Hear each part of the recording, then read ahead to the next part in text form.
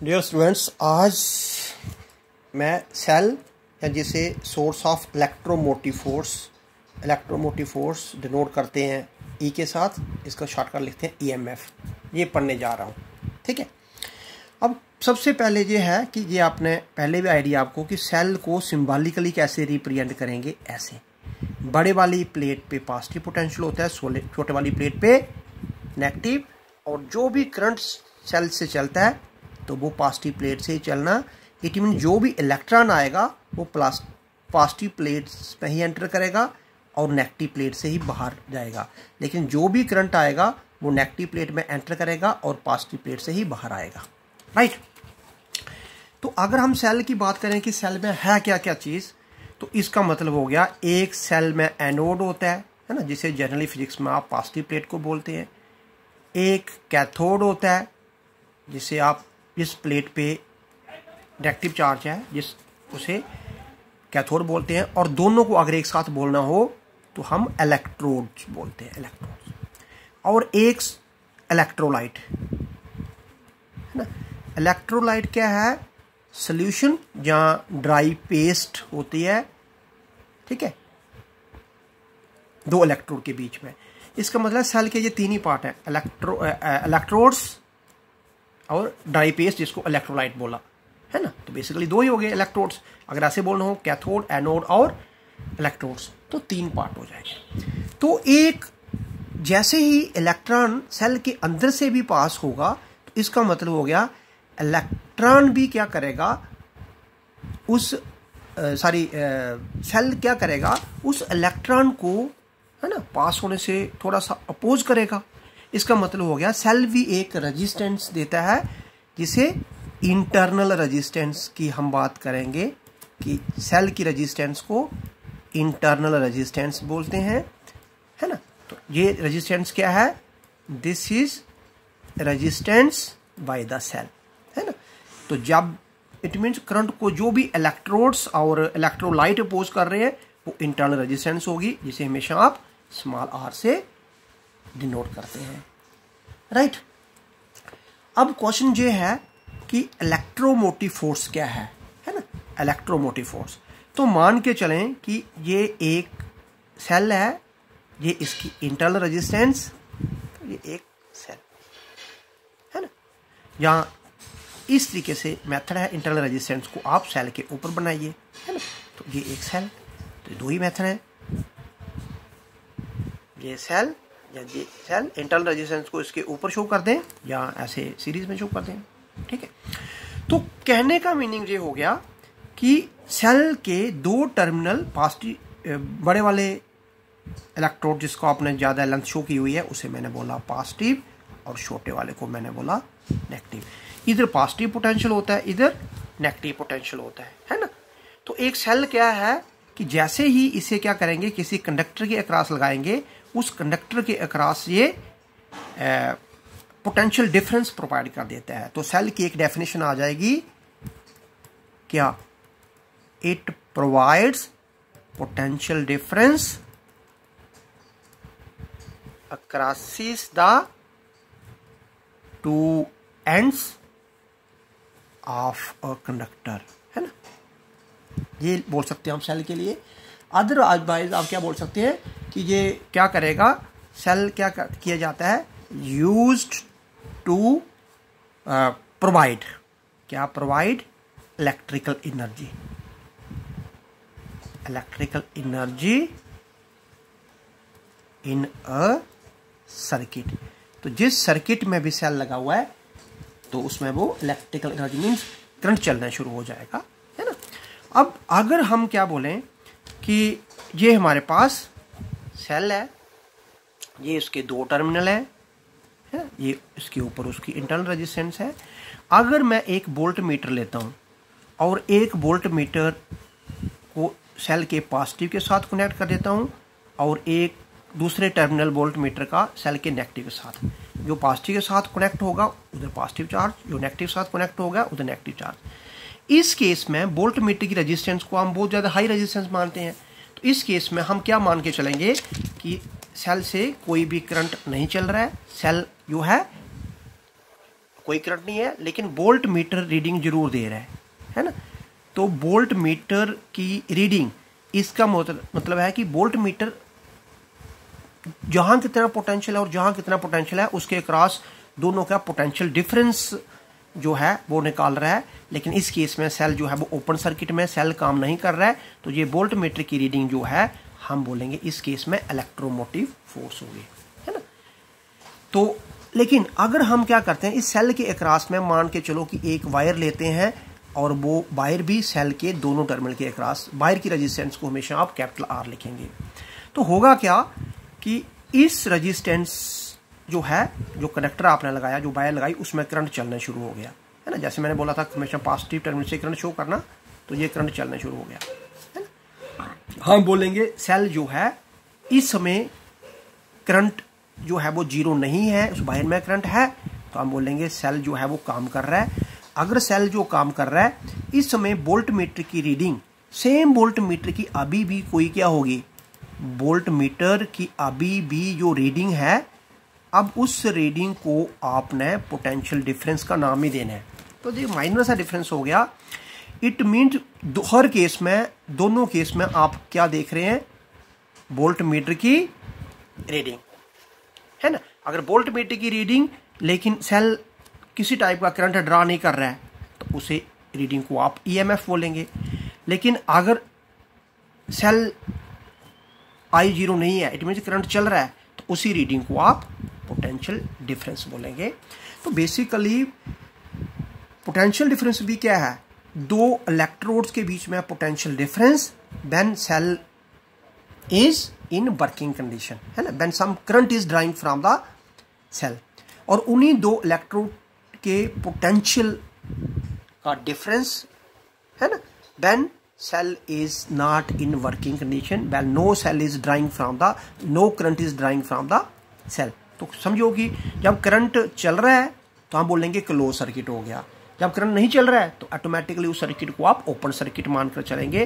तो open circuit में जो बोल्ट मीटर रीडिंग दे रहा है, उस रीडिंग को ईएमएफ बोलेंगे और क्लोज सर्किट में जो बोल्ट मीटर रीडिंग दे रहा है, उस रीडिंग को आप पोटेंशियल डिफरेंस मान के चलेंगे। राइट अब ये इंटरनल रेजिस्टेंस किस फैक्टर पे डिपेंड करती है? Factors on which are depends are क्या है? इंटरनल रेजिस्टेंस है. तो आपने ये देखना कि इंटरनल रेजिस्टेंस किस किस फैक्टर पे डिपेंड कर रही है? इंटरनल रेजिस्टेंस बहुत सारे फैक्टर पे डिपेंड करती है. पहले तो फैक्टर इस पे डिपेंड करती है कि नेचर ऑफ़ इलेक्ट्रोड्स या इलेक्ट्रोलाइट कि इलेक्ट्रोड्स किसके बने हुए हैं? सिल्वर के कापर के जिंक के, आयरन के, है ना? किस चीज़ का है? और इलेक्ट्रोलाइट में जो सोल्यूशन लिया, वो कौन सा सोल्यूशन है? इस चीज़ पे भी डिपेंड करती है। इस चीज़ पे भी डिपेंड करती है कि हमारे पास डिस्टेंस कितने हैं? दो डिस्टेंस बिटवीन इलेक्ट्रोड्स जो दो इलेक्ट्रोड्स हैं, उनके बीच में डिस्टेंस कितना है? तो उसे मैं डी मान लेता हूँ। इस चीज़ पे भी डिपेंड करती है area of electrodes immerse into the electrolyte. है ना? तो उस चीज़ को मैं ए, जितना इलेक्ट्रोलाइट कम होगा it mean level of electrolyte अगर लेवल ऑफ़ इलेक्ट्रोलाइट ज़्यादा होगा, उतना ही मान के चलिए कि ये सेल है। इलेक्ट्रोड लेवल जहाँ तक है इलेक्ट्रोलाइट का तो अंडरस्टूड है कि इतना, अगर लेवल कम हो जाएगा तो उतना ही एरिया जो है इलेक्ट्रोलाइट का कम डिप कर रहा है। और उसके बाद अगर हम देखें तो कंसंट्रेशन ऑफ़ इलेक्ट्रोलाइट्स भी क्या है? है ना? इलेक्ट्रोलाइट तो बहुत ज़्यादा थिक तो नहीं हो गया कहीं। और सबसे इंपॉर्टेंट फैक्टर क्या है? टेम्परेचर ऑफ़ द सेल तो उसमें इलेक्ट्रोड का टेम्परेचर भी हो गया इलेक्ट्रोलाइट का भी हो गया, पूरा सेल का टेम्परेचर क्या है? उसे मैं टी मान कर चलता हूँ। है ना? कंसनट्रेशन को मैं सी मान कर चलता हूँ। तो इन इन फैक्टर पे डिपेंड है, लेकिन इन फैक्टर से बहुत बार एक ऑब्जेक्टिव टाइप क्वेश्चन आ जाता है कि डायरेक्टली है टेम्परेचर बढ़ाने से क्या होगा या क्या नहीं होगा। तो मैं आपको एक शॉर्टकट तरीके से बता देता हूँ कि आपने याद रखना आर जो है, ये कोई फार्मूला नहीं है, सिर्फ़ शॉर्टकट बनाने का मैंने आपको बताया गया है कि इस तरीके से याद रखना। ऐसे याद रखिए D C upon A T है ना? मैं फिर बता रहा हूँ, ये कोई फार्मूला नहीं है। लेकिन इन फैक्टर्स को याद रखने का डायरेक्टली है इन्वर्सली है तो वो एक फार्मूला क्या है कि डिस्टेंस बढ़ेगा तो इंटरनल रेजिस्टेंस भी बढ़ेगी कंसनट्रेशन बढ़ेगी तो जे भी बढ़ेगी। एरिया ऑफ़ जो है इलेक्ट्रोलाइट्स बढ़ेगा, जितना ज़्यादा डिप होंगे, उतनी ये कम हो जाएगी। टेम्परेचर जितना ज़्यादा कम होगा, उतना ये बढ़ जाएगा। यही रीज़न है कि सर्दियों में टेम्परेचर कम हो जाता है और सेल या बैटरी की इंटरनल रेजिस्टेंस बढ़ जाती है। इसमें हमने देखा होगा बहुत बार गाड़ी या कोई भी व्हीकल है स्टार्ट करने में प्रॉब्लम आती है है ना? तो ये चीज़ भी आप याद रखें, एक इंपॉर्टेंट चीज़ है। उसके बाद अगर आप देखें तो हम रिलेशन पढ़ने जा रहे हैं। अभी तक आपने तीन चीज़ें पढ़ी सेल की। एक पढ़ा इलेक्ट्रोमोटिव फोर्स एक पोटेंशियल डिफरेंस और एक सेल की इंटरनल रेजिस्टेंस इनके बीच में मैं अभी रिलेशन पढ़ाने जा रहा हूँ। तो देखिए, क्या होगा कि मानकर चलें कि हमारे पास ये एक सेल है और ये उसकी इंटरनल रेजिस्टेंस है। है ना? और ये दो, इसको मैंने क्या किया? एक्सटर्नल वायर के साथ जोड़ दिया, जिसकी रेजिस्टेंस आर थी। इस टर्मिनल को ए इस टर्मिनल को बी ए पे जो पोटेंशियल है, उसे मैं बी ए बोलता हूँ, और बी पे जो पोटेंशियल है, उसे मैं बी भी बोलता हूँ। है ना? बाकी ये आपने पढ़ लिया। यही पोटेंशियल डिफरेंस ईएमएफ भी होगा और यही पोटेंशियल डिफरेंस पोटेंशियल डिफरेंस ही होगा। ईएमएफ के केस में करंट नहीं चल रहा है सल से, और पोटेंशियल डिफरेंस के केस में करंट ज़ीरो नहीं है इट मीन करंट चल रहा है ना? ये चीज़ आप याद रखिए। अब आपने क्या करना कि एक चीज़ दिमाग में रखनी कि जैसे ही कब इलेक्ट्रॉन जो है, या कब कब इस सर्किट में करंट आता है, ये पोटेंशियल जैसे ही हमारे पास सेल लगाया, तब करंट कैसे आ गया? तो मान के चलो कि जहाँ से ये वायर कंडक्टर शुरू हुआ, जहाँ से जहाँ तक। तो ये सेल क्या करेगा? इसके इलेक्ट्रॉन्स को, है ना? इसके इलेक्ट्रॉन्स को कंडक्टर के इलेक्ट्रॉन सेल जो है, उसे एक्सेप्ट करेगा और अपने इलेक्ट्रॉन जो है, उस इलेक्ट्रॉन को क्या करेगा? हम ऐसा मानकर चलते हैं, उस इलेक्ट्रॉन को एनर्जी प्रोवाइड करेगा और वो एनर्जी लेके वो इलेक्ट्रॉन इस कंडक्टर में आया और जैसे जैसे इलेक्ट्रॉन कंडक्टर में चला और वापस वो सेल में पहुंचेगा मतलब पूरा क्लोज लूप बनाएगा, उसकी एनर्जी खत्म हो गई होगी, फिर वो एनर्जी प्रोवाइड करेगा, फिर एक राउंड लगाएगा, है ना? इस तरीके से वो चलता रहता और जो है सर्किट में करंट चलता रहता है। अगर हम अभी देखें तो ईएमएफ e की डेफिनेशन क्या होगी? ईएमएफ e की डेफिनेशन है वर्क डन क्या वर्क डन कौन वर्क डन कर रहा है? सेल वाई द सेल है ना? किस लिए? इन मूविंग क्या मूविंग करना? Unit charge once around a closed loop close loop क्यों बोल दिया? मान के चले कि इलेक्ट्रॉन ने जहाँ से एनर्जी ली सेल से और ये एनर्जी धीरे धीरे धीरे जाके ख़त्म हो जाएगी वापस। तो जहाँ तक जो पहुँचेगा, वही सेल का ई एम बोलेंगे। इसका मतलब हो गया, अगर हम ऐसे बोलें तो बर्डन दो तरीके से करना पड़ रहा है कि दो जगह, जहाँ पे इतनी सी जगह पर अपोजिशन अलग है रजिस्टेंस आ रहा है, और कंडक्टर की रजिस्टेंस है ना, जिसे हम ऐसे बोलेंगे work done in moving charge कहाँ से कहाँ तो पहले मैं ले लेता हूँ बी टू ए है ना कंडक्टर में plus work done in moving charge कहाँ से कहाँ? ए टू बी तो इसी को आप अगर ई एम एफ़ बोलते हैं E M work done it means work done किस पे बटन चार्ज पे. कहाँ से कहाँ? तो पहले जा रहा है वो B to A means conductor में. प्लस वर्क डन कहाँ से कहाँ? तो फिर वो ए टू बी तभी तो कंप्लीट लूप होगा. बी से चला था और बी पे वापस आ गया तो complete loop it means potential difference है ना? बी और ए और पोटेंशियल डिफरेंस हम इसे ए बी बोल रहे हैं। अब ई एम एफ़ क्या हो गया? Potential difference B to A है ना? पोटेंशियल डिफरेंस जो है, वो आर आई होता है। B to A conductor conductor की रेजिस्टेंस आर है और कंडक्टर में करंट आई चल रहा है। और और सेल की रेजिस्टेंस आर है, और सेल में भी तो वही सेम करंट चल रहा है। ये आ गया, है ना? वट अगर हम ओमजला की बात करें तो B equal to R I और ओमजला जो है, वो कंडक्टर में जो करंट चल रहा है कंडक्टर पे अप्लाई हो रहा है। सेल में नहीं, हम उसे अप्लाई करेंगे। तो ये हमारे पास बी प्लस आर आई कर दिया, है ना? This is the required relation और इससे एक चीज़ क्लियर भी होगी कि इलेक्ट्रोमोटिव फोर्स पोटेंशियल डिफरेंस से बड़ी होगी। कब? जब सेल जो है, वो काम कर रहा है करंट जो है, वो ज़ीरो नहीं है। इट मीन्स वर्किंग कंडीशन में है सेल लेकिन अगर मैं ये केस ले लेता हूँ कि मान के चलो कि करंट ज़ीरो है जिसका मतलब हो गया सेल इज़ नॉट वर्किंग कि सेल काम नहीं कर रहा है है ना? तो जब सेल काम ही नहीं कर रहा है, दो ही कंडीशन हो सकती हैं कि इतनी ज़्यादा अपोजिशन मिल चुकी है है ना? कि वो काम मतलब उससे करंट ही नहीं ड्रा हो रहा है। उस केस में ई इजकल टू जब आई ज़ीरो हो जाएगा तो इजकल टू बी है ना? तो इलेक्ट्रोमोटिव फोर्स और पोटेंशियल डिफरेंस बराबर भी होते हैं। इस चीज़ को भी आप लेके चलें कि ये कब बराबर होते हैं, वो भी चीज़ आप यहाँ पे रखें राइट अब कुछ थोड़ा सा हम जल्दी से ग्राफिकली एक्सप्लेनेशन पढ़ लेते हैं। ग्राफ पहला केस मैं ले लेता हूँ। ग्राफ हम ले रहे हैं ई वर्सेस आर के बीच में, है ना?